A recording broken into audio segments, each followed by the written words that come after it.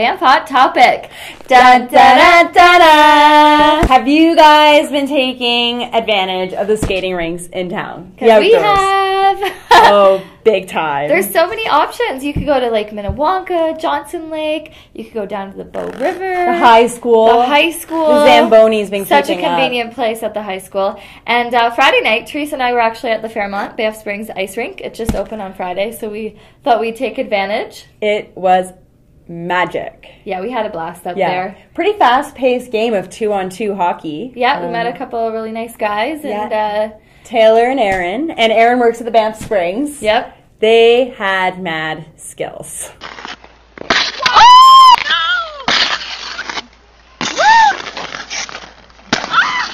Uh, we the only reason we left was because we lost all of our pucks. It- which was unfortunate because you know when you're a kid and you can just like stay out on the pond all night long, like it's just the best feeling in the world. That was us. Yeah, I did not want to go home. We didn't want to go, but, but you know, slap shots.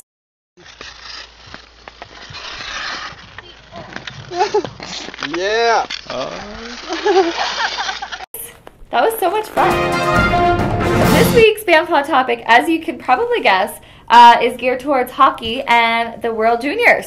We're definitely um, lacking the hockey games. lacking. But you know what? It's all going to be made up with World Juniors. All eyes are on you boys, and um, we're super stoked. First game is this Thursday, 9:30 a.m. The puck drops. So Thursday takes us to the day before the end of the world.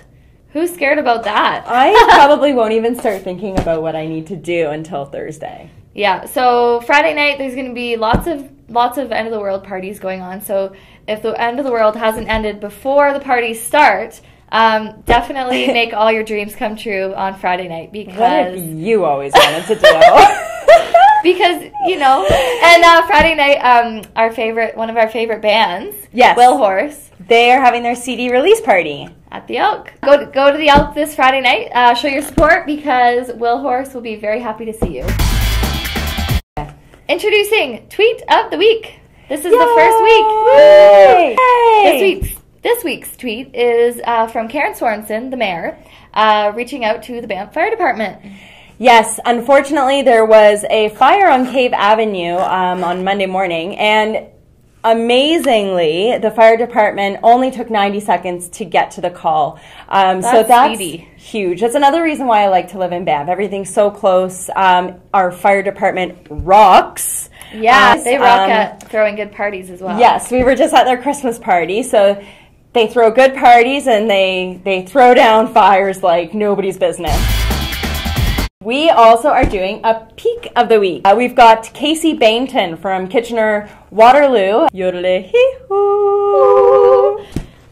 As you all might have heard, we're going to Europe and we're in the planning stages right now. So we would love your suggestions. We're going in March. We're focusing on Germany, Austria, and France. So- Chamonix, Yep. Chamonix, and Saint Anton am Arlberg. yes. Arlberg. So any suggestions of your favorite small towns, your après ski spots? we are going to do some serious research on skiing these big mountains and après ski. We're wondering if we're uh, if Banff wins. So- yeah. Y'all. Yeah. Yeah. right. Okay. That wraps it up. That totally Um, wraps it up. Um, Next week, Christmas special will be Yeah. coming to you on Christmas morning. And uh, go Canada, go! Go Canada, go! Okay. you just love these gloves, don't you? I do love these gloves.